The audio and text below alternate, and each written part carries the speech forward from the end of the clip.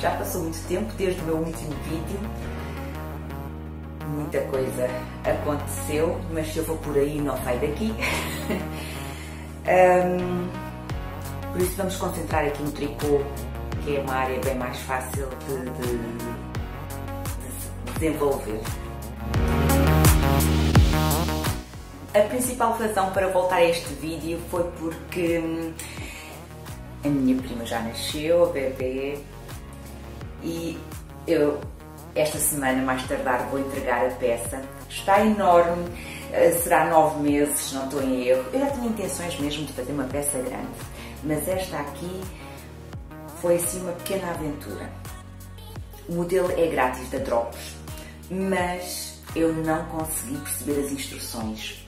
Tive que. Hum, o esquema, tudo muito fácil. É redondinho, começamos por aqui pelo centro, vamos crescendo em, em circular, mas tricotando frente-verso. E, e quando acabamos por tricotar este quadradinho, as instruções eu, por acaso, no Ravelry encontrei lá também alguém a queixar-se do mesmo. As instruções são muito complicadas, mas há peças concluídas, portanto, alguém as consegue perceber. Eu não consegui. Então foi simples. Um, improvisei. Uh, não quis desmanchar este, este, esta parte central, porque realmente é muito bonita, foi aquilo que me chamou a atenção. A construção é completamente diferente. Depois improvisei porque aqui na peça original era aberta atrás com um botãozinho, mas que eu acho que às vezes para bebês, quando se deitam, aquilo deve incomodar de alguma maneira. Eu gosto muito das aberturas laterais, portanto coloquei aqui isto.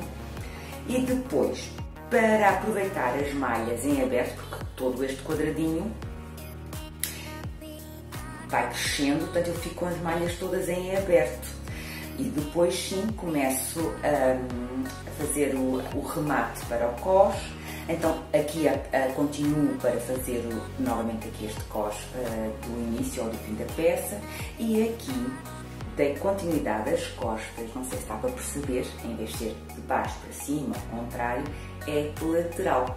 Continuei e depois fiz aqui então uma costurazinha, é uma costura invisível e isso é o que importa.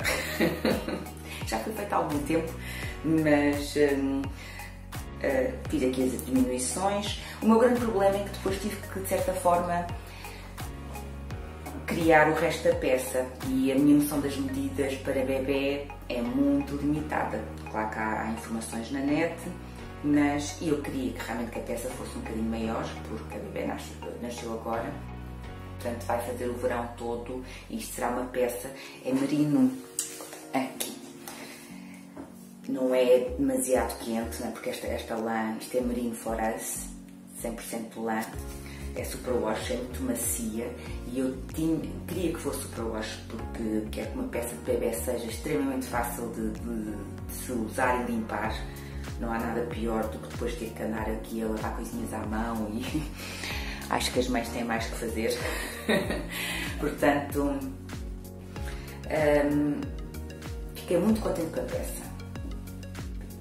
Isto aqui ganhou logo de real depois de bloquear. É engraçada. E vai ser uma pecinha que mesmo para o fim do verão se vai conseguir usar, porque não é demasiado quente, mas aconchega. Estou muito contente com ela. Andei aqui à luta, mas no entanto, continuo a dizer que é uma peça, uh, o design é da Drops, porque realmente o motivo principal foi de lá que tirei.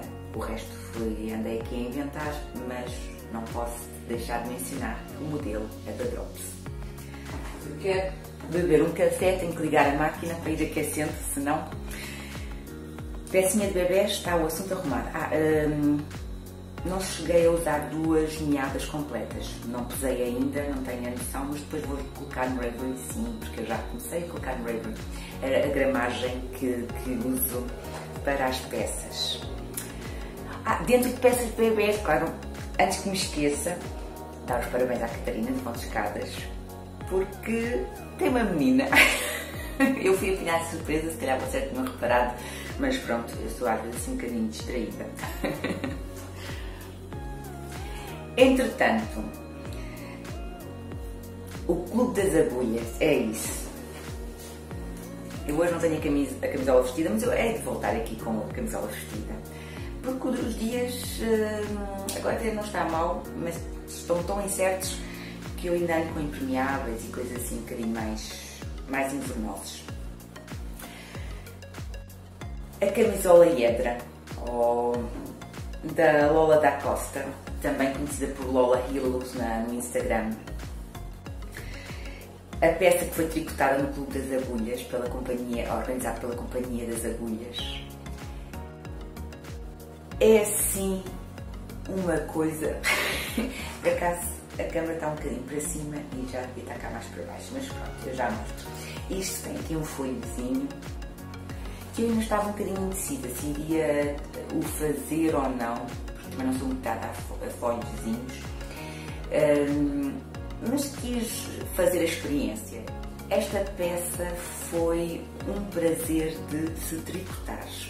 Nós dizemos sempre, quase sempre, das peças todas que fazemos, mas hum, esta particularmente, também pela experiência de ser tricotada em clube, com um grupo de clubeiras e hum, com reuniões por Zoom, agora presencialmente não dá, apesar de que eu acho que ia, iria ser lindo uma fotografia de grupo com todas as clubeiras e as suas cedras vestidas. Claro que pronto, temos uh, clubeiras do Algarve, não ia ser fácil, mas enfim. Um, e acho que sim, que essa parte da participação de um clube, do coletivo de comunidade, uh, vai dar à experiência de tributar um saborzinho diferente, que eu estou a apreciar muito. Estou a apreciar tanto que eu avancei com uma brincadeira. Não foi inicialmente pensada, mas agora se calhar vai por esse caminho, mas eu já vou lá. Camisola ou jersey hebra. Um, foi tricotada com BCK BioBalance. Ui, tanta luz. E depois, para compensar, a cara fica escura. Sobrou-me aqui este bocadinho, que são cerca de 24 ou 26 gramas, portanto eu gastei 270 e qualquer coisa gramas para tricotar esta camisola. É uma mistura de algodão e lã, é uma mistura muito idêntica ao fio Rosário Jardim. A Fernanda uma das madrinhas, porque eu também era, sou madrinha, aliás, eu é que uh, ofereci-me, coloquei-me logo à frente, eu sou madrinha. e depois não dei hipótese. a Naná é outra madrinha. Uh, está a tricotar três peças, e uma para a filha, se não tenho erro, para a mãe, e outra para ela. Uma realmente é com BC Garden e as outras duas com o fio jardim da, da Rosários, que é uma mistura muito idêntica talvez com um pouco mais de corpo na, na textura, na consistência da, do fio, que depois resulta num outro tipo de tecido, mas muito idêntico, muito idêntico mesmo. Esta peça já usei no sábado, foi assim um dia muito bom para se usar esta, esta, este tipo de peça de manga curta, mas de malha. E até sem dúvida tricotar mais uma ou duas, mas não, é, uma pelo menos apetece-me. E se calhar uma das minhas ideias é, ela é toda larguinha, é se calhar fazer com uma agulha um bocadinho mais pequena, eu fiz com 3,5, poderia ir para o 3, o tamanho é o M1, para ficar um bocadinho mais justa, para fazer um pouco mais de cintura e quanto muito se calhar até poderia fazer aqui umas pequenas diminuições na cintura, mas aí já é uma brincadeira minha, não é o design que, que dá indicações, para depois usufruir mais ainda do folhinho, uh, para ficar um bocadinho com mais salero. já que é uma peça de uma design espanhola, não é? Um, ah, agora que estou a olhar para aqui, convém salientar, não sei se vos acontece o mesmo, mas eu já não me lembro de qual era a direção, mas as minhas laçadas, se são feitas antes de uma malha meia ou antes de uma malha liga, e depois acho que foi assim, fica maior. Portanto, um dos lados das laçadas fica maior do que o outro. Não consigo, mesmo tendo atenção e prestar um bocadinho mais o fio, acabo sempre por fazer, já não lembro, eu acho que é depois de, de uma malha uh, liga, como a laçada tem que ser quase a dobrar, não é só passar o fio para trás, ela acaba sempre ficar um bocadinho maior, portanto faz assim aqui umas laçadas um bocadinho maiores. Mas são coisinhas insignificantes, mas a mim acontece nisso, já tinha reparado noutras peças e aqui realmente uh, nota-se um bocadinho mais. Portanto, o Clube das Agulhas está mencionado. Entretanto, também o, o casaco da Coconites do Colo, que já foi lá para abril, terminado, e eu ainda estou a. Já fiz as mangas, portanto, mas eu depois mostro, agora vale tentar sempre mostrar as mesmas uh, coisas. Um, olha, eu acho que o café não vai ficar. Vim para a cozinha para tirar um café, mas pronto, fica para outro, para outra altura. Eh, entretanto, chegou-me aqui a casa uma encomenda que eu fiz, que eu quis aproveitar, eh, já fiz um videozinho story, uma promoção que a Daia da Pai Alfinete fez, eu acho que tínhamos que para comprar o Fio Sul, o ano passado quando saiu a peça da, da Filipa Neonói Carneiro, um, eu comprei logo o modelo e, e fazia intenções de realmente o fazer, o tricotar com o fio adequado, portanto o fio sul, apesar de que se pode tricotar com, com outros. Um, e aproveitando a promoção que ela fez, comprei as três meadas necessárias. Então aqui elas estão assim abertas, ainda não fiz um, isto. Agora está a perder sol, é uma tristeza. Agora que eu precisava de um bocadinho de sol para fazer realçar estas cores lindas. Se passar à frente da câmera é mesmo muito profissional da minha parte. Agora aqui, em relação a esta encomenda e à minha camisola azul que vou tricotar, hum, acho que vou fazer um colo. A Catarina já mencionou no Pão das Escadas, porque eu também já dei assim. É assim, eu só um, cutuco quem mostra interesse. Se me dizem, ai, tão gira, também gostava de tricotar, eu digo logo, então vamos lá. Não é? Não vale a pena estarmos com, com dúvidas. Porque eu realmente, esta lã que comprei era para fazer camisola azul e, e é isso que eu vou fazer. Entretanto, a Fátima Pedro, a conta no Instagram é assim, Uh, também comprou a três vinhadas e, e, estava indecisa entre a camisola sul e um, um, outro modelo. E claro, eu disse logo, oh, junta-te a mim, vamos fazer a camisola sul juntas. Entretanto, nessa troca de, de, de, mensagens, a Paula, da Pai Alfinete, disse, eu também preciso fazer outra, mas só consigo lá para junho esperam por mim, nós dissemos que sim. E eu na brincadeira disse, epá, Teresa tricotar a mesma camisola já é um mini call. Claro que entretanto as reações ao meu story hum, dizem que estão quem achou piada e gostaria, eu andei ali a picar um bocadinho. Mas juntem-se a nós, nada mais giro se não, se quiserem esperar até junho para começar a camisola, uh, fazemos um, um mini call. Já estão mais ou menos umas nove pessoas orientadas.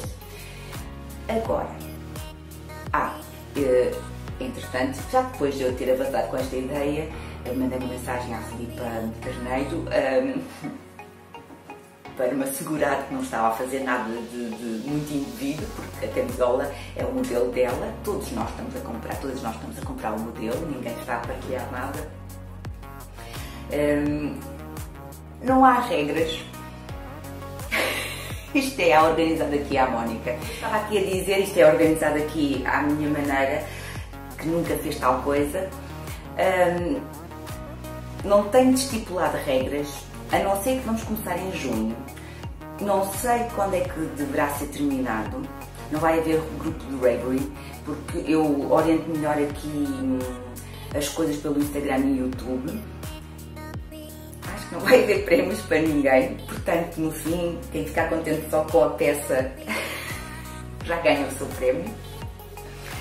E, mas acho que vai ser muito giro porque vamos tricotar juntas e vamos andar aqui a, a, a incentivar-nos umas às outras e a mostrar os nossos progressos e dificuldades, acredito que não. A Naná já fez a autotest para, para a peça e, e, disse que realmente é muito simples e rápida de se fazer, portanto, dificuldade acho que não vamos ter.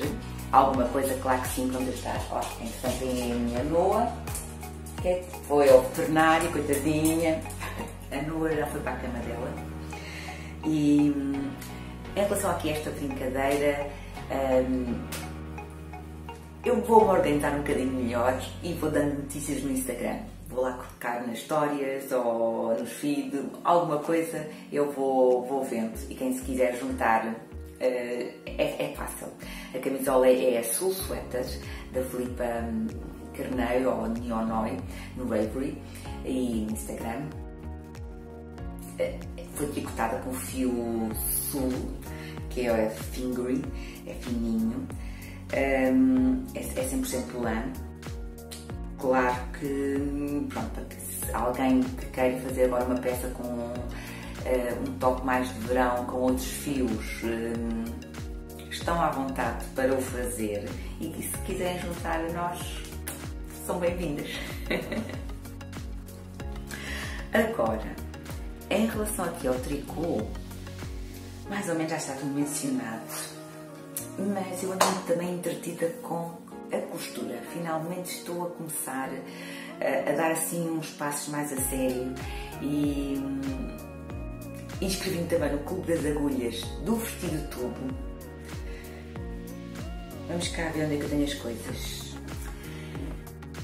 Em relação à costura, um dos meus objetivos, que é comum a muitas de nós makers, é vir a ter um muitas peças, ou quase todas, uh, feitas por mim. Vir de um guarda-roupa uh, feito, costurado uh, por mim. Mas a costura não é uma coisa assim muito natural e já me apercebi que não é nada um, portátil, não é prática. Nós temos que preparar uma zona para fazer costura e tempo e enquanto o tricô muita coisa que esteja a acontecer na nossa vida, andamos sempre com um saquinho de SOS e numa carreira aqui, outra carreira ali e a coisa vai desenvolvendo. Portanto, ele adapta-se à nossa vida, é muito portátil. Uh, a costura não, nós é que nos temos que arranjar espaço para encaixar. Portanto, eu acredito que agora começando, eu para me motivar, inscrevi-me no Clube das Agulhas, estava a esquecer desse pormenor, para o vestido, portanto, de agulhas dedicadas à costura. Fiz o da Hiedra, que era para tricô. Uh, estou com condições de ir a fazer um outro que há de ser organizado de bordado. Um, mas pronto, em relação à costura, o vestido é um vestido oversize com bolsos e com uma virola. Escolhi aqui este tecido super florido. Para, eu gosto assim de padrões um bocadinho exuberantes. Um, estou muito atrasada, porque há cobeiras já com dois vestidos orientados e eu ainda nem os moldes colei. No entanto, eu sei que agora eu vou ganhar uh, velocidade, porque também estou a fazer um workshop de fato bem com as minhas medidas. São, porque a Sofia hum, mandou-me assim uma boia de salvação estou a precisar de me entreter e ocupar o tempo. E ela sabia que eu eh, tinha intenções de desenvolver mais um, ehm, coisas relacionadas com biquínis e fatos de banho. E, e eu, olha, fui. Inscrevi-me no workshop, são quatro sextas-feiras, já, já tivemos uma aula com a professora Margarida. É com as nossas medidas, como eu estava a dizer, portanto, é adaptar um modelo ao nosso tamanho não é assim uma coisa do outro mundo impossível de se fazer, mas requer atenção. mas estou a adorar. Um, para isso, portanto, eu, eu, sinto que agora com estas aulas e como já preparei para lá o meu quartinho da, o meu ateliê, ui, sim, gostei desta ideia, o meu ateliê, assim, qual quartinho? já tenho o meu ateliê preparado para a costura, a mesa já que trabalhar os moldes, etc. Portanto, isto vai, vai, apanhar ritmo e vou, vou fazer o, o vestido no instante. Para o fato de banho, comprei aqui estas duas licras, esta será agora para o primeiro e depois esta aqui com arzinho mais anos 50 para fazer uma, um segundo. Um, sim, será, eu acho que é isso. Quando começar a costurar, um, porque já me percebi que o difícil é começar, depois as peças desenvolvem-se muito rapidamente. Vamos ver. Eu vou continuar no meu tricô, que eu adoro, é a minha, a minha paixão, mas vou dividir um bocadinho o tempo com, com a costura. Vamos ver como é que corre. A única coisa que eu sei é que não venho para cá vestida de facto bem fazer o vídeo. Pelo menos aqui na cozinha. Nunca me vão apanhar de facto bem, mas se calhar eu posso fazer um vídeo, um, um podcast na praia, por exemplo, no verão. E então já é apropriado. Quem sabe? Enfim, vamos nos encontrando por aqui no meu canal Fio das Moiras, no Instagram e no YouTube.